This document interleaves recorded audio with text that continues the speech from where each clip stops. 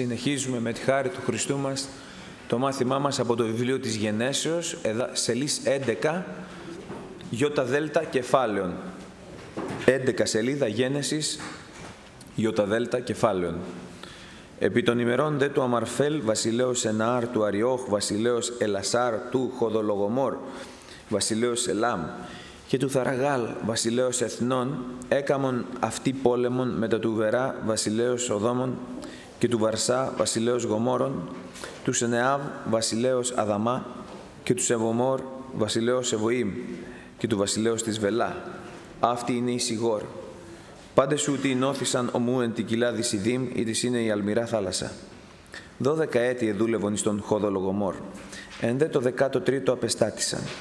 Και εν το δεκάτο τετάρτο έτη ήλθεν ο Χοδολογομόρ και η βασιλής η μεταυτού και πατάξαντε στους Ραφαΐμ εν Ασταρώθ Καρναΐμ και τους Σουζίμ εν Ενάμ και τους Εμέους εν Σαβή Κυριαθαΐμ και τους Χορέους εν το όρι αυτών Σιήρ έως της Παιδιάδος Φαράν ή της είναι εν τη ερήμο.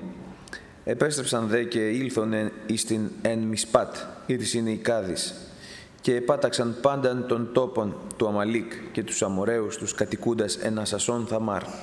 Εξήλθε δε ο βασιλεύς των Σοδόμων και ο βασιλεύς των Γομόρων και ο βασιλεύς της Αδαμά και ο βασιλεύς της των Σεβοήμ και ο βασιλεύς της Βελά ή της είναι η Σιγόρ και συνεκρότησαν μάχην με ταυτόν εν την κοιλάδη Σιδήμ μετά του Χοδολογομόρ βασιλέως Ελάμ και του Θαργάλ βασιλέως Εθνών και του Αμαρφέλ βασιλέως Ενάρ και του Αριόχ βασιλέως Ελασάρ. Τέσσαρες βασιλείς προς πέντε η δε κοιλάς Σιδήμ ή το πλήρης φρεάτων ασφάλτου.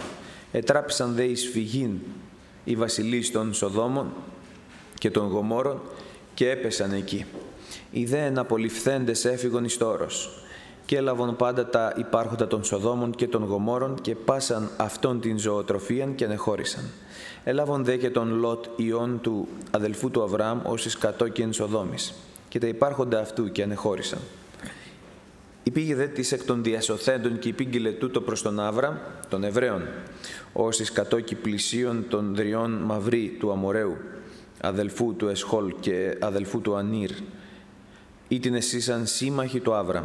Ακούσας δε ο Άβραμ ότι εχμαλωτίστη ο αδελφός αυτού εφόπλησε 318 εκ των δούλων αυτού των γεννηθέντων εν τη οικία αυτού και κατεδίωξεν ο πίσω αυτόν έως δάν. Και διαιρέσας τους σε αυτού όρμησε κατά αυτόν τη νύχτα αυτός και οι δούλοι αυτού και επάταξεν αυτούς και κατεδίωξεν αυτούς έως Χοβά ή της είναι κατά τα αριστερά της Δαμασκού. Και επανέφερε πάντα τα υπάρχοντα και έτσι επανέφερε Λότ των αδελφών αυτού και τα υπάρχοντα αυτού, έτσι δε και τας γυναίκας και των λαών. Εξήλθε δε ο βασιλεύς των Σοδόμων η συνάντηση αυτού, αφού επέστρεψεν από τις καταστροφής του Χοδολογομόρ και των βασιλέων των μεταυτού εν την κοιλά Σαβή, ή της είναι η κοιλάς του βασιλέως. Και ο Μελχισεδέκ, βασιλεύ Σαλήμ, έφερεν έξω άρτων και ίνων, ή το δε ιερεύς του Θεού του υψίστου, και ευλόγησεν αυτόν και είπεν, ευλογημένος ο Άβραμ, παρά του Θεού του υψίστου, ώστις έκτισε τον ουρανόν και την γην, και ευλογητός ο Θεός, ο ύψιστος, ώστις παρέδωκε τους οχθρούς σου εις την χείραν σου. Και ο Άβραμ έδωκεν σε αυτόν δέκατον από πάντων. Και είπε ο βασιλεύς των Σονδόμων προς τον Άβραμ, δώσ' μου τους ανθρώπους, τα δε υπάρχοντα λάβει σε αυτόν.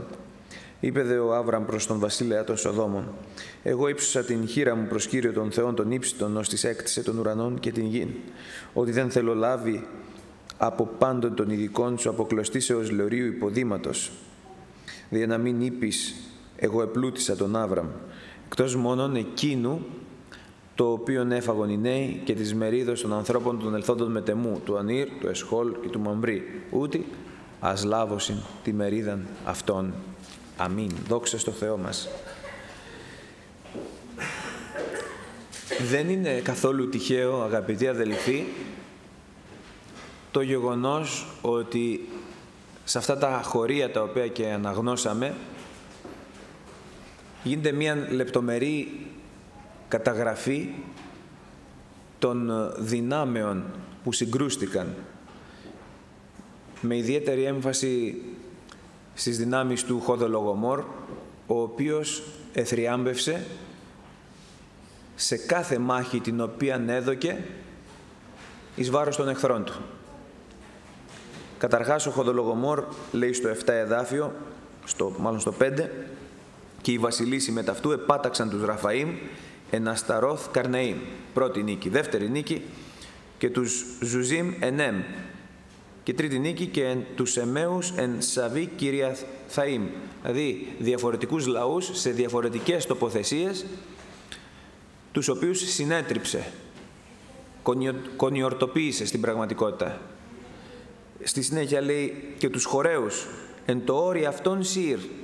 Είναι σαν να, τους λέει, σαν να λέμε τους νίκησε μέσα στην έδρα τους. Δηλαδή σε τόπο εις τον οποίο και ήξεραν να πολεμούν. Αλλά ακόμη και εκεί τους συνέτριψε, τους υπερίσχυσε εναντίον αυτών.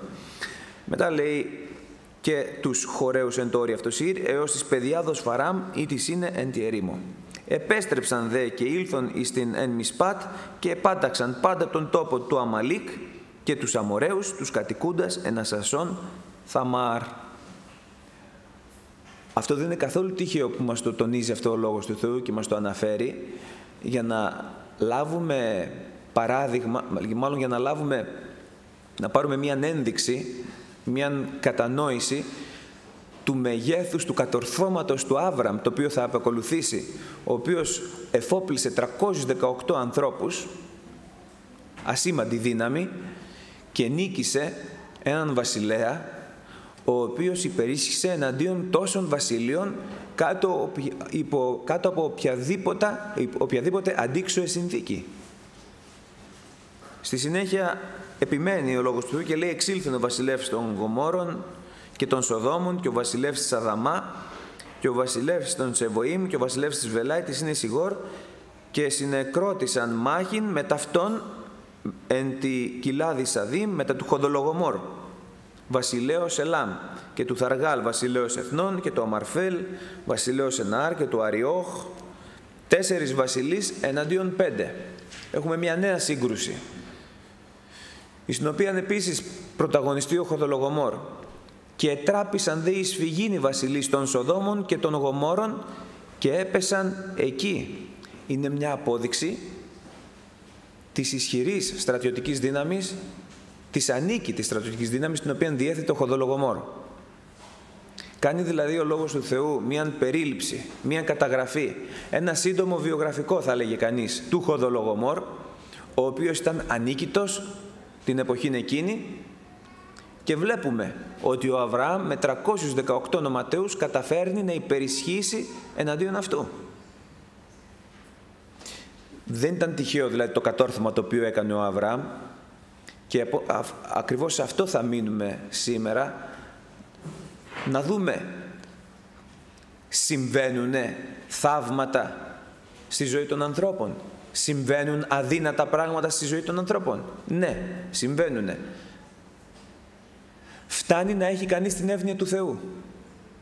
Εάν κάποιος έχει τον Θεό μαζί του, ο Θεός μπορεί να κάνει μεγαλεία, θαυμάσια και τεράστια. Γιατί είναι ο Θεός, μιλάμε για τον Θεό. Όποιος και αν είναι απέναντι, είτε λέγεται χοντολογομόρ, είτε λέγεται βασιλιάς οδόμων, γομόρων, μα ό,τι και να είναι, εάν έχει κανείς τον Θεό μαζί του, θα βλέπει στη ζωή του τα θαυμάσια του Κυρίου. Και θα δούμε τι πρέπει να κάνει ο άνθρωπος για να έχει τον Θεό μαζί του. Πού πρέπει να προσέξει. Πού πρέπει να δώσει το βάρος του. Γιατί ο Αβραάμ κάπου έδωσε το βάρος του. Έκανε κάτι συγκεκριμένο, το οποίο πιστεύω να προλάβουμε σήμερα να το εντοπίσουμε με τη χάρη του Θεού, γιατί όλη η Γραφή είναι θεόπνευστος και ωφέλιμος προς διδασκαλίαν, προς επανόρθωση, προς έλεγχον. Έρχεται ο Θεός να μας διδάξει από τη μία, να μας ενισχύσει από την άλλη και να μας δώσει ένα μήνυμα, ότι αν εγώ είμαι μαζί σου, ποιος μπορεί να είναι εναντίον σου.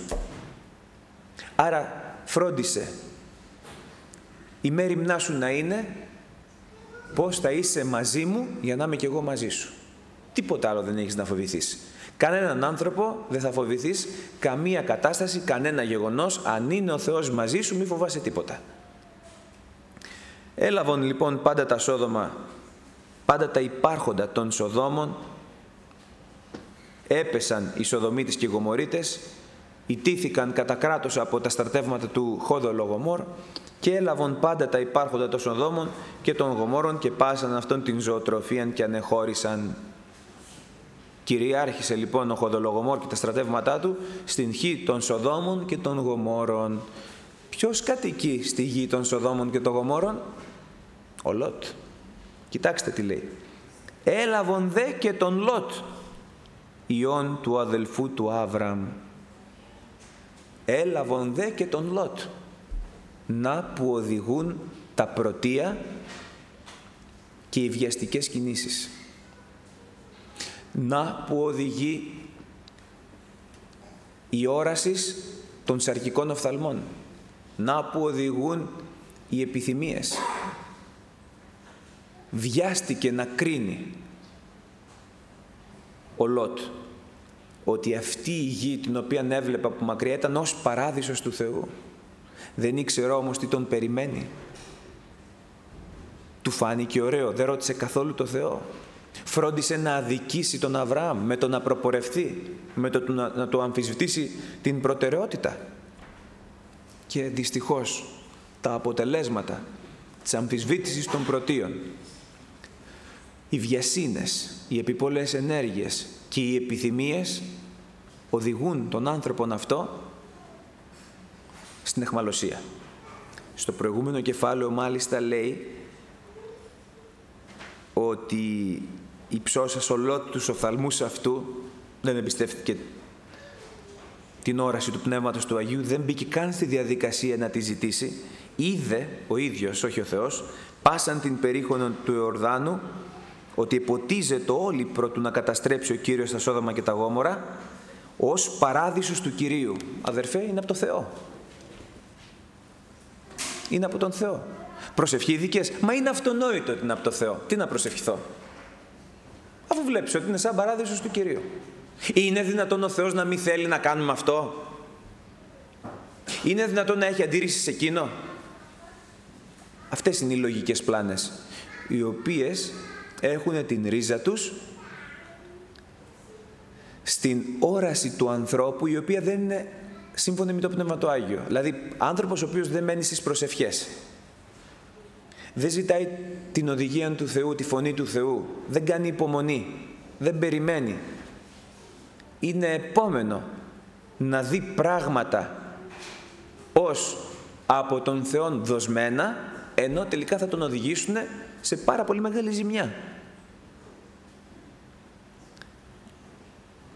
Έλαβον δε και τον Λότ συνελήφθη ο Λότ.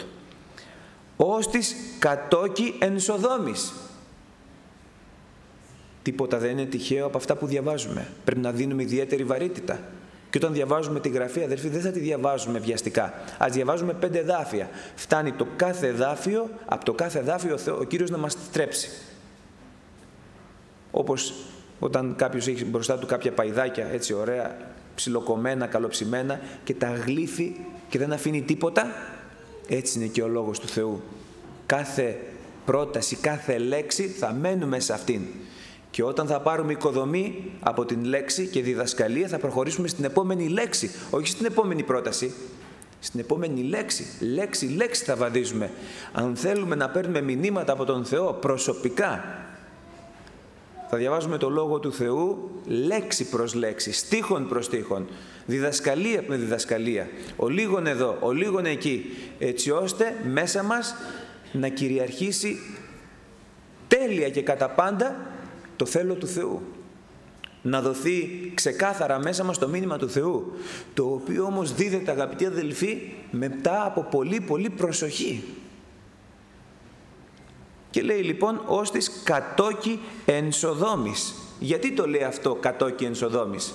Για να καταλάβουμε αγαπητοί αδελφοί πόσο σπουδαίο πράγμα είναι η συναναστροφή με τους Αγίους ανθρώπους του Θεού και όχι με τον κόσμο.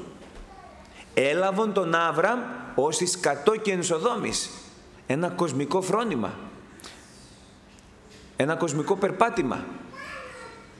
Και τι πειράζει αδελφέ αυτό; Και τι πειράζει εκείνο; Και τι πειράζει το άλλο; Μα εγώ δεν βλέπω να υπάρχει κανένα πρόβλημα. Έτσι την πάτησαν και οι άλλοι, οι συνοδοιπόροι, οι συμπλέοντες μάλλον με τον Παύλο, στον Ευρωκλείδωνα, στο πλοίο των Δραμητινών. Και αφού λέει έπνευσε ο λίγος νότος και είδαν ότι επέτυχον του σκοπού, αδερφέ, από το Θεό είναι. Δεν βλέπεις, μια χαρά πηγαίνουμε. Μέχρι τούδε ο Θεός μας βοήθησε. Εβενέζερ, βλέπετε παρερμηνία. Εκείνη την ώρα έρχεται ο Ευρωκλείδωνας. Εντάξει, μπορεί να έχουμε πάει καλά μέχρι εδώ, αλλά αυτό δεν σημαίνει ότι αυτά τα οποία κάνουμε ή ο τρόπος με τον οποίο λειτουργούμε αυτός είναι και άλλος δεν είναι, χρειάζεται προσοχή. Γιατί και εκείνη σου λέει ο λίγος νότος. Αφού έπνευσε ο λίγος νότος και νομίσαντες ότι επέτυχον του σκοπού, νομίσαντες, υπάρχει λέγει γραφή οδός η οποία είναι ορθή εις τους οφθαλμούς του ανθρώπου. Σου λέει από το Θεό είναι. Τα τέλη όμως αυτής οδηγούν στον θάνατο. Αυτός λοιπόν κατόκει εν Σοδόμης και αυτή η συγκατοίκησή του, αυτή η κοινωνία του με το σύμικτο πλήθος τον οδηγεί εις το να συλληφθεί. Γι' αυτό αγαπητοί αδελφοί δεν πρέπει να υπάρχει μέσα στην Εκκλησία σύμικτος πλήθος. Δεν είναι καλό, είναι επικίνδυνο να υπάρχει μέσα στην Εκκλησία σύμικτο πλήθος. Όπως Ακόμη χειρότερα, είναι άκρος επικίνδυνο να υπάρχει μέσα στην καρδιά μου σύμικτο πλήθος. Διότι αν θυμάστε στην έξοδο, νομίζω, δεν θυμάμαι καλά, νομίζω ότι ήταν στην έξοδο, το σύμικτο πλήθος ήταν η αιτία που επεθύμησαν οι Ισραηλίτες τα σκόρδα και τα κρόμια.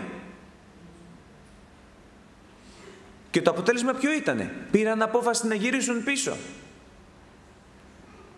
Και όλα αυτά γιατί; Γιατί αυτά τα προκαλούν οι εισηγήσεις του σύμικτου πλήθους. Μα θα είμαστε φανατικοί; Φυσικά και θα είμαστε φανατικοί. Τι θα είμαστε, φιλελεύθεροι; Τι θα είμαστε, χαλαροί; Βεβαίως θα είμαστε κατά γράμμα στο Λόγο του Θεού.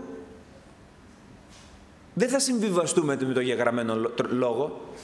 Δεν θα δολώσουμε το Λόγο του Θεού με φιλελευθεριότητες, δίθεν αγάπες, δίθεν επίοικιες, ο αγαπώνε με τον λόγο μου θέλει φυλάξει.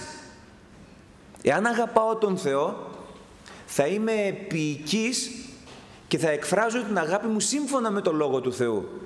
Τα υπόλοιπα είναι συναισθήματα. Βεβαίως θα είμαστε επίοικείς. Βεβαίως θα είμαστε ανεκτικοί.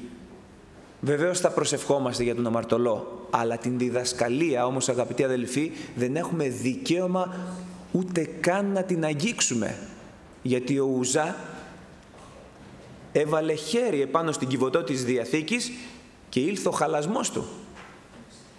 Άρα λοιπόν, άλλο πράγμα ο αμαρτωλός, άλλο πράγμα η αμαρτία, άλλο πράγμα η αδυναμία και άλλο πράγμα η αρθοτόμηση. Άλλο το ένα και άλλο το άλλο. Θα ορθοτομούμε, θα προσπαθούμε να ορθοποδούμε, αλλά ο άλλος που δεν μπορεί να ορθοποδήσει δεν θα τον κατηγορήσουμε. Με εκείνον όμως που θα έχουμε σοβαρό πρόβλημα, μα σοβαρό πρόβλημα έως και ρήξη, θα είναι με εκείνον όχι που δεν ορθοποδεί, αλλά που δεν ορθοτομεί. Γιατί μπορεί κάποιος να ορθοτομεί, αλλά να μην μπορεί να ορθοποδεί. Εκεί πέρα υπάρχει ανθρώπινη αδυναμία. Στην ορθοτόμηση, αγαπητοί αδελφοί, όμως δεν θα πάμε ούτε λεπτό πίσω, ούτε πόντο πίσω από την ορθοτόμηση του Λόγου του Θεού. Γι' αυτό λέει, πρόσεχε σε Αυτόν και εις την διδασκαλίαν, διότι τούτο πράτον και τον εαυτό σου θα σώσεις και τους ακούοντάς σε. Ο Λότ συλλαμβάνεται γιατί κατοικεί στα Σόδομα. Παρότι γνωρίζει ότι ο Θεός είναι ζωντανός, ότι μιλάει, ότι ευωδώνει, γιατί τα έζησε όλα αυτά τόσα χρόνια περιπατών μετά του Άβραμ. Έπαψε να περπατάει με τον Άβραμ, έπαψε να είναι με την κοινωνία, έπαψε να είναι στην κοινωνία με τον Άγιον άνθρωπο του Θεού ή με τους Αγίους και το αποτέλεσμα ποιο ήταν; Να συλληφθεί, να εχμαλωτιστεί. Ο Θεός όμως τον αγαπάει τον Λότ, όπως μας αγαπάει και όλους. Και θα κάνει ό,τι είναι δυνατόν ο εχμαλωτιστής να απελευθερωθεί. Εδώ πέρα όμως θα δοκιμαστεί η καρδιά του Αβραάμ. Και η αλήθεια είναι ότι ο Θεός θα επιτρέψει στη ζωή μας να έλθουν γεγονότα τέτοια, ώστε να δοκιμαστεί η καρδιά μας με ανθρώπους οι οποίοι είτε δεν μας τίμησαν, είτε μας στενοχώρησαν, είτε μας, επρόβαλαν, μας πρόσβαλαν. Και εκεί πέρα θα μας δοκιμάσει ο Θεός. Εάν εκεί σταθούμε δόκιμοι, θα ανοίξει ο ουρανός, αδελφοί αγαπητοί. Γι' αυτό μη στεναχωριόμαστε για όλα αυτά τα οποία συμβαίνουν ή όλα αυτά τα οποία αντιμετωπίζουμε, τα οποία ίσως και να μας πονάνε. Δεν έχει σημασία. Δεν αυτό δεν είναι κακό. Αυτό είναι χάρις. Γιατί είναι η χάρις που δίνει ο Θεός σε σένα να σταθείς εκεί που σε θέλει ώστε να γνωρίσεις έναν Θεόν τον οποίο μέχρι χθες δεν εγνώρισες. Γι' αυτό δεν πρέπει να απογοητευόμαστε. Αλλά εδώ τώρα θα δούμε ένα ωραίο παράδειγμα το οποίο μας δίνει σήμερα ο Θεός μέσα από το παράδειγμα του Άβραμ.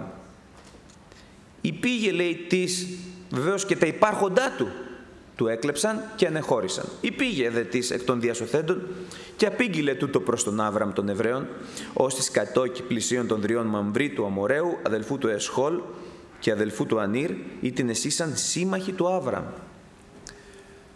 Μαθαίνει λοιπόν ο Άβραμ από κάποιον άνθρωπο ότι ο Λότ εχμαλωτίστηκε. Εδώ ξεκινάει η δοκιμασία για τον Άβραμ. Πώς θα αντιδράσει. Θυμίζουμε ότι ο Λότ δεν τον έχει σεβαστεί. Τον έχει προσβάλει. Δεν έχει εκτιμήσει τι ο Θεός του χάρισε μέσα από τον Αβραάμ. Γιατί ο Λότ τι είχε; Τίποτα δεν είχε. Ξυπόλυτος ήταν όπως έλεγε η γιαγιά μου. Και τι είχε παιδάκι μου, μου λέγει η μάνα σου. Τι είχε. Ξυπόλυτη την πήραμε, μου λέγει. Έτσι μου λέγε. Έλα βρε για της λέω ξυπόλυτη την Δεν είχε το σπίτι στο Βαρθολομιό εκεί πέρα. Ε, καλά τι έπιασε μου λέει το σπίτι. Άμα δεν δούλευε μου λέει ο πατέρας σου. η γιαγιά μου την αγαπούσε πολύ τη μάνα μου. Θυμάμαι. Δόξα στο Θεό. Λοιπόν, όλα αυτά λοιπόν Υπάρχουν λοιπόν συμπεριφορές που πληγώνουν και στενοχωρούν. Ο Άβραμ ήταν δέκτης μιας αχαριστίας, το λιγότερο. Τώρα μαθαίνει ότι εχμαλωτίστηκε ο Λότ. Τι θα πει, αδελφέ, ας πρόσεχε. Γιατί ήρθε σε έρηδα με, με τους ποιμένες μας, γιατί δεν μου έδωσε την προτεραιότητα της επιλογής, γιατί δεν με σεβάστηκε, δεν έχει αδελφέ τη φωνή του Θεού και είδες που οδηγεί το άνθρωπος όταν δεν τον οδηγεί το Πνεύμα του Άγιο; Ήθελέστα και παθέστα, έλεγε η γιαγιά μου. Ας πρόσεχε αδελφέ. Δεν ορθοπόδησε, δεν ορθοτόμησε, δεν τήρησε το Λόγο του Θεού, δεν σεβάστηκε τον παλαιότερον του. Τι περιμένεις αδελφό, ο Θεός είναι Θεός δικαιοσύνης. Αυτά τα οποία θέρισε, αυτά τα οποία, αυτά, μάλλον αυτά τα οποία έσπηρε, αυτά και θέρισε. Τι να κάνουμε; Τώρα ο Θεός ας αναλάβει. Αλλά δεν λέει έτσι. Με το που ακούει ότι ο Λότ, ο ανιψιός του, και ξέρετε αγαπητοί αδελφοί, έχω βάσιμες υποψίες, υπόνοιες, ότι αυτό ο Κύριος το επέτρεψε να έρθει στα αυτιά του Αβραάμ για να ελευθερωθεί ο Άβραμ. Δεν ξέρω πού να ελευθερωθεί ο Άβραμ. Κάθε άνθρωπος αγαπητοί αδελφοί, όσο και αν του μιλάει ο Θεός, όσο και αν έχει την παρουσία του Θεού, όταν βλέπει μια συμπεριφορά προς το πρόσωπό του, η οποία είναι το λιγότερο ανάρμοστη, πονάει. Θα μου πεις δεν τον παρηγορεί ο Θεός, βεβαίως. Δεν του δίνει υπόσχεσεις και επαγγελίες, βεβαίως. Και αυτό είναι που τον κρατάει και όρθιο. Αλλά όμως υπάρχει ένα αγκαθάκι. Τώρα, μικρό, μεγάλο, υπάρχει. Και ο Θεός, επειδή έχει ετοιμάσει πολύ μεγάλο έργο και σπουδαίες θεοφάνειες για τον Αβραάμ, θέλει να τον απελευθερώσει. Και πώς απελευθερώνει το άνθρωπος από αυτά τα μικρά αγκάθια; Βοηθώντας, ευεργετώντας εκείνον που, που τον στενοχώρησε. Δεν γίνεται αλλιώς. Ένας είναι ο τρόπος. Το θέμα είναι ο Άβραμ θα συνεργαστεί με τον Θεό. Ο Θεός δεν του έκανε μάθημα να του πει ότι κοίταξε να δεις, εγώ αυτό τώρα που εργάζομαι είναι για να σου φύγει το αγκάθι που τυχόν έχεις ή που μπορεί να έχεις. Ή γιατί πρέπει να κάνεις αυτό και αυτό γιατί αύριο θα σου δείξω κάτι ενύπνια. Αύριο θα σου ε, δώσω σπέρμα. Δεν του λέει τίποτα ο Θεός. Αφήνει τα γεγονότα να εξελίσσονται και περιμένει τώρα από τα γεγονότα να διδαχθεί ο Άβραμ ότι είναι η ώρα να πιάσει την ευκαιρία. Πολλές φορές, αδελφοί, ο Θεός δεν μιλάει μόνο δια πνεύματος Αγίου ή με ενίτνια ή με οράσει, αλλά μας μιλάει και μέσα από αυτά που επιτρέπει στη ζωή μας. Ο Αβραάμ λοιπόν, ακούσας ο Αβραάμ ότι εχμαλωτίστη ο αδελφός αυτού, μα είναι ανιψιός του. Τον έβδελβε όμως αδελφό του. Μα αφού είναι ανιψιός του. Άλλο πράγμα ανιψιός, άλλο πράγμα αδελφός. Ανιψιός είναι μια σχέση αγάπης, αλλά όχι όμως τόσο στενή. Η σχέση όμως η αδελφική είναι μια πολύ πιο στενή σχέση, πιο, πολύ πιο δυνατή, μια πιο αναβαθμισμένη σχέση. Εκείνος λοιπόν τον έβλεπε σαν αδελφό του. Ανεξάρτητα που ήταν ανιψιός του και που τον είχε στεναχωρήσει τόσο μα τόσο πολύ. Μόλις άκουσε λοιπόν ότι εχμαλωτίστηκε ο αδελφός του, αμέσως εφόπλησε 318 εκ των δούλων αυτού. Άμεση ανταπόκριση. Η πίκρα, η στενοχώρια δεν ήταν αρκετή ώστε να τον κάνει να μείνει αδρανής. Κατάλαβε ο Άβραμ ότι τώρα του δίνεται μια μεγάλη ευκαιρία να πλησιάσει τον Θεό ακόμη πιο πολύ, να νιώσει την παρουσία Του ακόμη εντονότερα, ευεργετώντας εκείνον που τον επρόσβαλε. Αδελφοί αγαπητοί, ο Λόγος του Θεού είναι ένα μεγαλείο για την ψυχή του ανθρώπου. Εάν ο άνθρωπος του Θεού εφαρμόσει το Λόγο Του, το Ευαγγέλιο του Χριστού στη ζωή του, θα έχει αποτελέσματα όχι μόνο στη γη αυτή, όχι μόνο μάλλον για τα υλικά, αλλά κυρίως για την ψυχή του. Θα έχει αποτελέσματα, θα γίνει συνεργάτης του Θεού. Και συνεργάτης του Θεού σημαίνει να του μιλάει ο Θεός, να τον οδηγεί, να είναι ο μισθαποδότης του Θεός, να του στέλνει την παρουσία του, την χάρη του, ποταμούς ειρήνης, ποταμούς ευφροσύνης, να του δίνει τη δύναμη και την εξουσία να υπερβαίνει τον κακό εαυτό του, να δαμάζει και να δουλαγωγεί το σώμα του. Μεγαλεία ο Κύριος έχει ετοιμάσει για εκείνους που θα εφαρμόσουν τον Λόγο του Θεού στη ζωή τους. Θα έχουν αποτελέσματα. Αγαπητοί αδελφοί, μην έχουμε καμία αμφιβολία ότι αν υιοθετήσουμε τις πρακτικές του Λόγου του Θεού θα έχουμε αποτελέσματα όχι για τους άλλους και για τους άλλους όχι για το περιβάλλον μας, κάποιες φορές και για το περιβάλλον μας, αλλά σίγουρα θα έχουμε αποτελέσματα προσωπικά, εσωτερικά, γιατί η σχέση με τον Θεό είναι προσωπική. Και αυτό είναι το σημαντικότερο πράγμα στη ζωή του ανθρώπου, να είναι σε απευθείας επαφή με τον πλάστη του. Τα υπόλοιπα όλα τα ξεπερνάει. Αν έχεις επαφή με τον Κύριο Διαπνεύματος Αγίου, μα ό,τι και αν συμβεί στη ζωή σου θα το ξεπεράσεις. Γιατί; Διότι το Ευαγγέλιο του Χριστού είναι δύναμη Θεού. Με τη δύναμη του Θεού θα ζητήσεις συγγνώμη αν έκανες λάθος. Με τη δύναμη του Θεού θα συγχωρέσεις αν σου έφτεξαν. Με τη δύναμη του Θεού θα κάνεις υπομονή αν είσαι ανυπόμονος. Με τη δύναμη του Θεού θα αυξηθεί η πίστη σου αν είσαι ολιγόπιστος. Με τη δύναμη του Θεού θα αποκτήσεις χαρά αν έχεις πίκρα και πόνο. Με τη δύναμη του Θεού θα αποκτήσεις όραση Πνεύματος Αγίου να βλέπεις το αύριο. Τη στιγμή που σήμερα δεν βλέπεις ούτε ένα μέτρο μπροστά σου. Με τη δύναμη του Θεού. Με την άνωθεν βοήθεια. 318 εκ των δούλων αυτού, των, των γεννηθέντων εν τη οικία αυτού, εφόπλησε ο Άβραμ και κατεδίωξε ο πίσων αυτών έως Δάν. 318 τι να φτουρίσουν που λένε και στο χωριό μου. Ε; Τι να φτουρίσουν 318. Εδώ πέρα τώρα τι είχαμε πει, γι' αυτό λέμε ότι τίποτα δεν είναι τυχαίο σε αυτά που λέμε στη Γραφή. Πόσους βασιλιάδες εξόντωσε, ούτε κι εγώ ξέρω.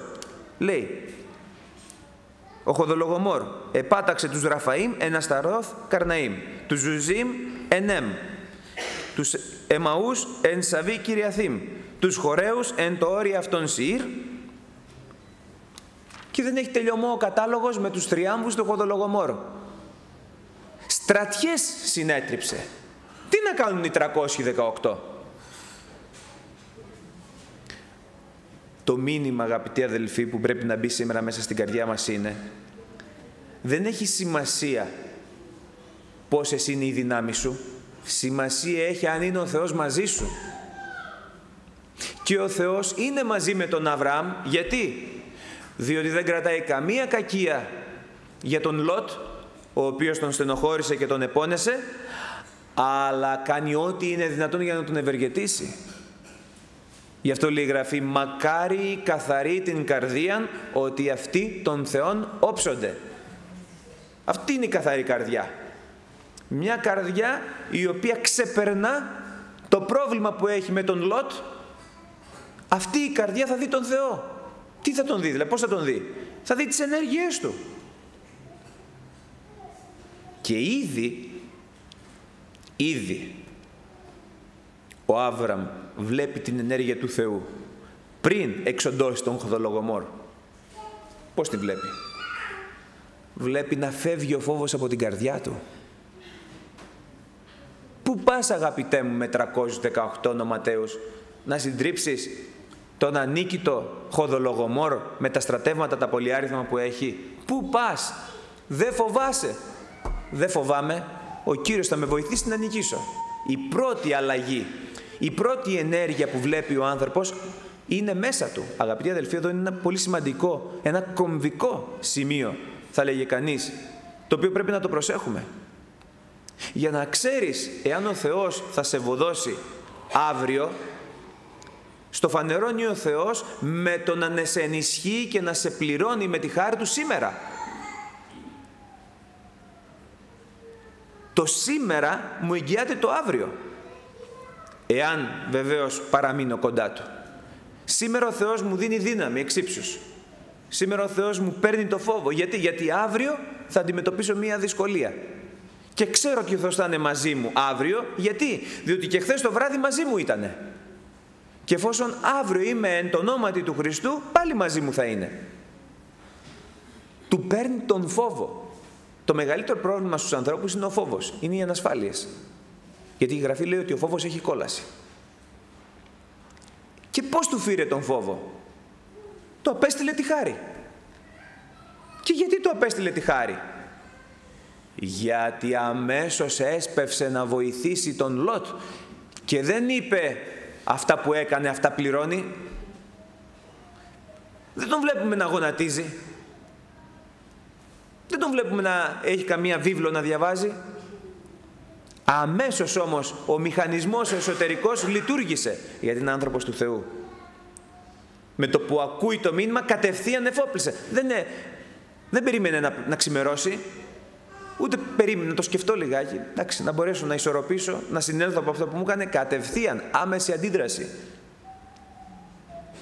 Και όταν ο Θεός βλέπει άνθρωπο να σπέβδει να βοηθήσει, να συμπαρασταθεί, να ελευθερώσει, να βοηθήσει, εκείνον που τον πίκρανε αποστέλει τη χάρη του και όταν ο Θεός αποστείλει τη χάρη υπάρχει περιθώριο να σταθεί φόβος μέσα στο είναι του ανθρώπου.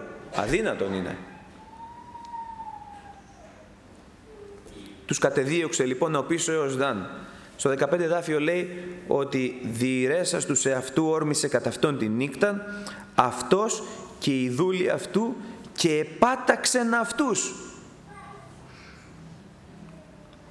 οι πλέον ολιγάριθμοι υπερνίκησαν κατά των πλέον πολυάριθμων. Πώς γίνεται αυτό; Είναι η δύναμη του Θεού. Είναι η άνωθεν βοήθεια. Είναι η εύνοια του Θεού σε εκείνους οι οποίοι ξεπερνάνε το χθες. Γιατί θέλουν να ζήσουν το τώρα και ένα ένδοξο αύριο.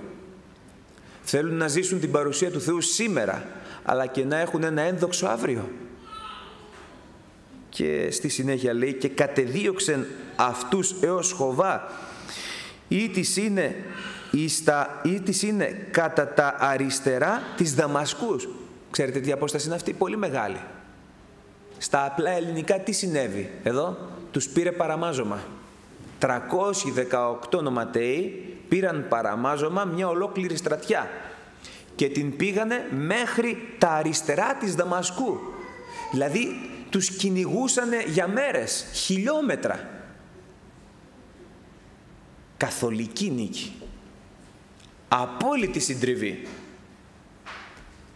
Και όλα αυτά γιατί; Γιατί ο Θεός ήταν μαζί με τον Άβραμ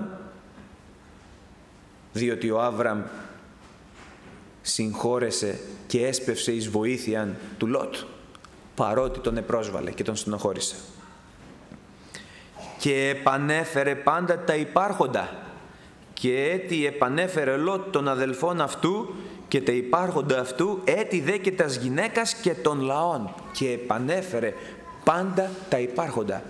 Τι σημαίνει αυτό αγαπητοί αδελφοί; Ότι η αγάπη μαζεύει. Η πίκρα διασκορπίζει. Η αγάπη ξανακερδίζει πάλι πίσω τα χαμένα εδάφη. Η ενθύμηση του χτες οδηγεί τον άνθρωπο όχι μόνο στην ακαρπία αλλά και στην απουσία της φωνής του Θεού από τη ζωή του. Εάν ο Άβραμ ενεθυμίτο και επέμενε στην άσχημη συμπεριφορά του Λότ, είναι αμφίβολο αν και κατά πόσο ο Θεός θα το, θα το ξαναμίλαγε τόσο καθαρά. Γιατί αν ο Θεός επιτρέψει τις άλλες φορές θα δούμε ότι ο Θεός εξαιτίας αυτής της συμπεριφοράς δεν είναι μόνο ότι επανέφερε τα υπάρχοντα, τα διαρπαγέντα υπό των στρατευμάτων του Χοδολογομόρ, αλλά μίλησε πολύ πολύ συγκεκριμένα στον Άβραμ περί του σπέρματός του, γιατί ήταν προβεβικός στην ηλικία και εκεί πέρα ήταν που λέγει η Γραφή ότι φίλος του Θεού ονομάστη. Ακόμη δεν είναι φίλος του Θεού, είναι ένας άνθρωπος του Θεού. Ξέρεις, για να γίνεις φίλος του Θεού, φίλος του Θεού τι σημαίνει; Να τα λες συνέχεια μαζί Του. Εδώ είναι δούλος Θεού. Εμείς θέλουμε να είμαστε και δούλοι Θεού. Τι θέλουμε να είμαστε; Θέλουμε να είμαστε δούλοι Θεού. Μία σχέση είναι αυτή, την οποία τη θέλουμε. Άλλη σχέση είναι να είμαστε μαθητές Χριστού. Και αυτή υπέροχη σχέση. Άλλη σχέση είναι να είμαστε παιδιά Θεού. Δεν είναι αλληλοσυγκρόμενα όλα αυτά. Είναι διαφορετικές πτυχές της σχέσης που μπορεί να έχει ο θνητός άνθρωπος με τον αθάνατο Θεό. Αλλά υπάρχει και η σχέση του φίλου. Δηλαδή μια καλώς εννοουμένη οικειότητα, μια ε, άνευ προηγουμένου εμπιστοσύνη και μια συνεχή συνομιλία η οποία είναι απολαυστική για εκείνους την οποία την απολαμβάνουν και την έχουν. Επανέφερε λοιπόν πάντα τα υπάρχοντα. Φοβερή επιτυχία. Μεγάλο το θαύμα. Απίστευτη η ενέργεια του Θεού. Βλέπουμε αδελφοί τι κάνει ο Θεός όταν ευαρεστείτε στη ζωή μας. Και αυτό που ευαρεστεί κυρίως τον Θεό στη ζωή μας είναι να μην κρατάμε πίκρα για κανέναν. Αυτό είναι το σπουδαιότερο και το σημαντικότερο. Και ο Θεός θα επιτρέψει να σε επικραίνουν μέχρι να πάρεις το μάθημα. Και όταν θα το πάρεις στο μάθημα, πάλι θα επιτρέψει να σε επικραίνουν. Γιατί, για να αναβαθμιστεί καλύτερη σχέση του μαζί του. Γι' αυτό. Και μέχρι το τέλος θα πίνουμε πικρά ποτήρια. Το λέει ο Κύριος αυτό και το Πνεύμα του Άγιο λέει ποτήριον, πικρών ποτήριον, ποτήριον. Γιατί, τι θέλει ο Θεός να μας ταλαιπωρεί; Όχι. Θέλει να, όπως ο Κύριος μας ο οποίος εσταυρώθη και ανέστη δια Πνεύματος Αγίου, έτσι και εμείς θέλουμε δια Πνεύματος Αγίου να σηκωνόμαστε. Αυτό που κάνει εδώ ο Άβραμ δεν είναι τίποτα άλλο παρά μία σταύρωση προσωπική. Κατάπιε το εγώ του. Αυτό έκανε. Ξέχασε αυτό που του έκανε. Ή και αν δεν το ξέχασε, το προσπέρασε. ο σκοπός του ήταν να βοηθήσει τον αδελφό του τον Λότ. Ξέρετε γιατί αδελφοί; Γιατί κατάλαβε ότι αυτή η άσχημη συμπεριφορά την οποία του επεφύλαξε ο Λότ λίγες μέρες πριν ή λίγο καιρό πριν ήταν αποτέλεσμα μιας κακής πνευματικής κατάστασης του Λότ. Και όταν κάποιος αναγνωρίζει στον άλλον μια κακή πνευματική κατάσταση, τότε τον συμπονά, γιατί βλέπει ότι είναι σε πλάνη, βλέπει ότι είναι σε δεσμά. Και ένας αδελφός, όταν βλέπει τον αδελφό του να είναι σε μια τέτοιου είδους κατάσταση, εάν είναι γνήσιος αδελφός, πονάει.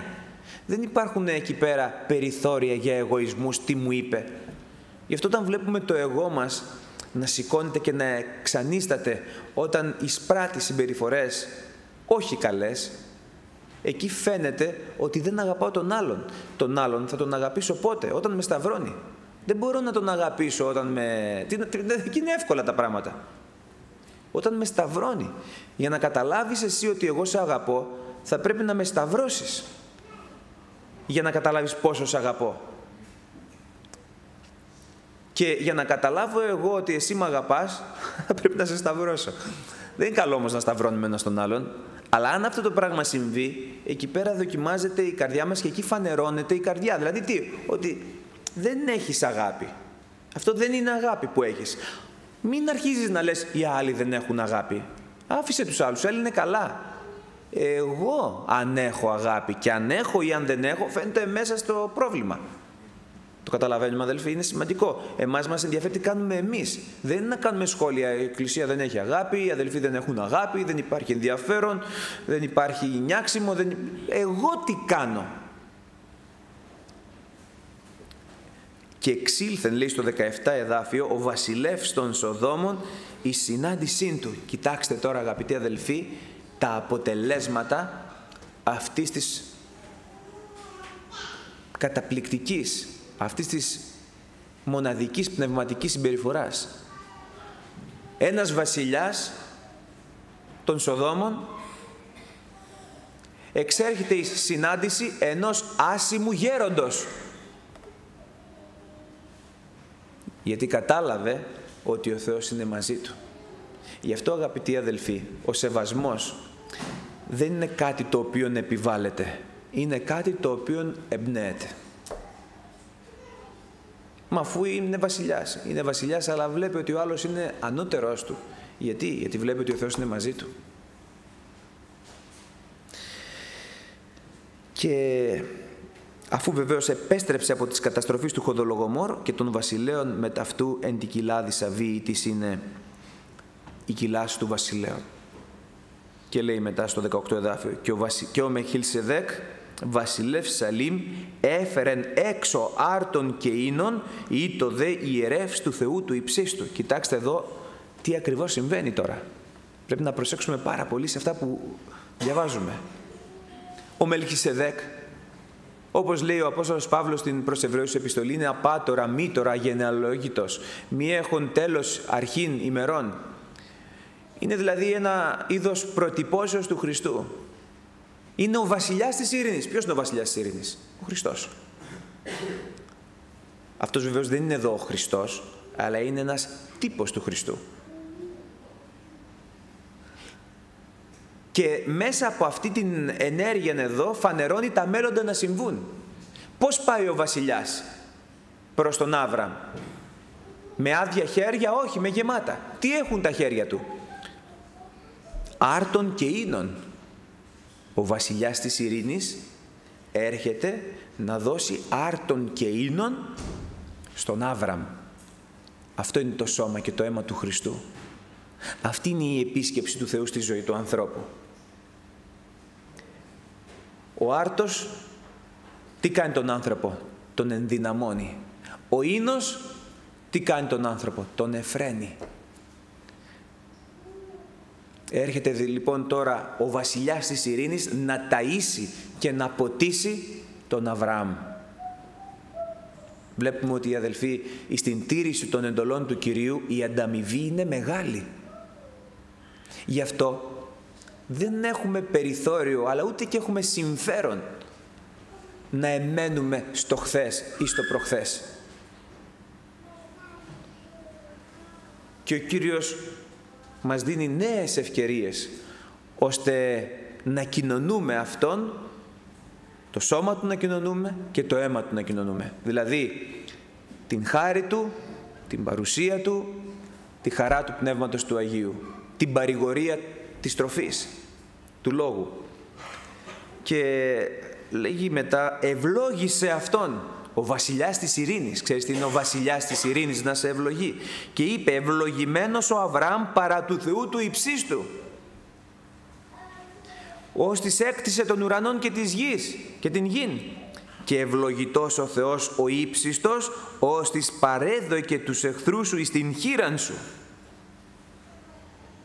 Εις τη χείραν σου. Εσού ποιου. Εσού που βοήθησες και έθεσες σε κίνδυνο τη ζωή σου για να ελευθερώσεις εκείνον που σε στενοχώρησε και σε πόνεσε. Και ο Αβραάμ τι κάνει; Αμήν Κύριε, ήξερα ότι είσαι δίκαιος και θα μου το ανταπέδιδες αυτό κάποια ημέρα. Έτσι κάνει, όχι βέβαια, αλλά τι κάνει; Και ο Αβραάμ έδωκε εις αυτόν δέκατον από πάντων. Δηλαδή, όχι μόνον δεν περιαυτολόγησε, αλλά συνεισέφερε ό,τι καλύτερο μπορούσε. Να μια ευγνώμονα καρδία που δεν το παίρνει πάνω της. Και ξέρετε, ο άνθρωπος που δεν το παίρνει πάνω του, όταν ο Θεός είναι μαζί του και τον ευλογεί, έχει βρει τον τρόπο ώστε να παραμένει χαμηλά. Με ποιον τρόπο; Με το να ξαναδώσει προς τον Θεό. Με το να του δώσει τη δόξα, την τιμή και με να του, να του δώσει ό,τι έχει μέσα στην καρδιά του, ό,τι το καλύτερο. Και είπε ο βασιλεύς των Σοδόμων προς τον Άβραμ, δώσ' μη τους ανθρώπους τα υπάρχοντα λάβει σε αυτόν. Τα λάφυρα δηλαδή είναι δικά σου, τους ανθρώπους δώσ' μου. Νέα δοκιμασία για την καρδιά του Αβραάμ. Θα κρατήσει τα λάφυρα ή θα του τα δώσει πίσω. Είπε δε ο Άβραμ, εγώ ύψωσα την χείρα μου προς Κύριον των Θεών τον ύψιστος, ώστις έκτισε τον ουρανόν και την γη. Εγώ σχέση με τον Θεό. Εμένα δεν με δελεάζουν όλα αυτά που ο κόσμος εδώ δίνει.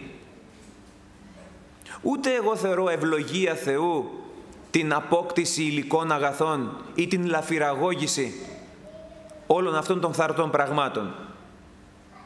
Όχι.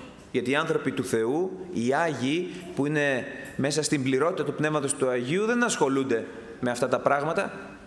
Αρκούνται στα παρόντα. Στη, στα κλινοσκεπάσματα, στις στροφές, στα βασικά.